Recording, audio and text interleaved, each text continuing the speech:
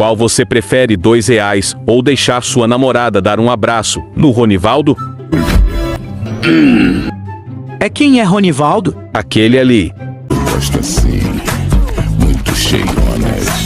Eu gosto assim, das bem grandonas. Eu gosto Que diabo é isso?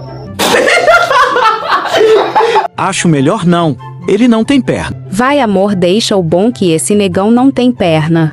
Deve ser muito bom.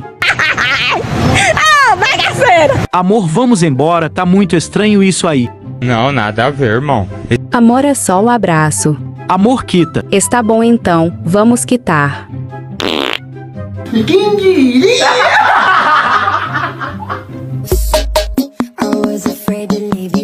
Ronivaldo pode vir com tudo.